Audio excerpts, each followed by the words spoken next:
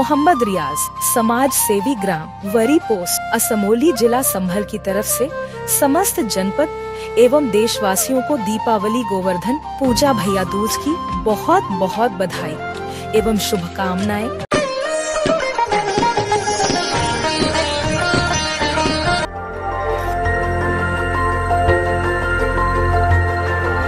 देखते रहिए डीबी भारती समाचार। नज़र हर खबर पर।